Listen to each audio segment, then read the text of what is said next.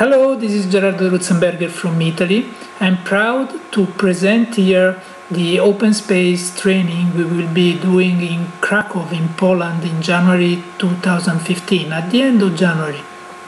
And I'm proud of this training uh, because it's a training that we have designed in a completely different way from the past, basing all the training activities on the principles of open space and the, on the only one law that rules the open space meetings and also the open space approach.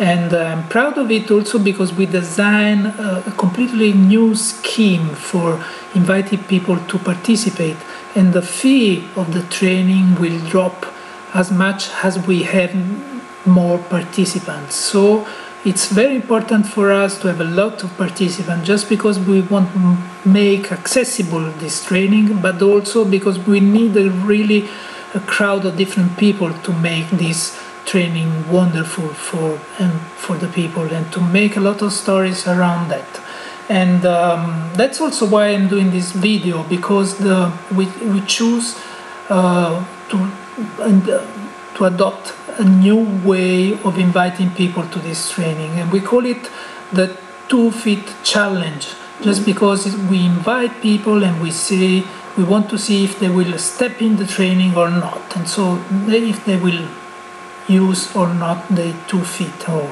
better how they will use the two feet.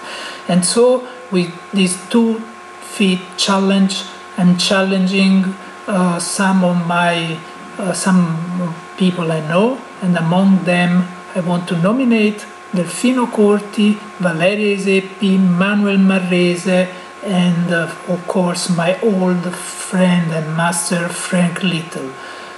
Hi folks, you have just 24 hours to accept this challenge, make your own video and help us to spread the word.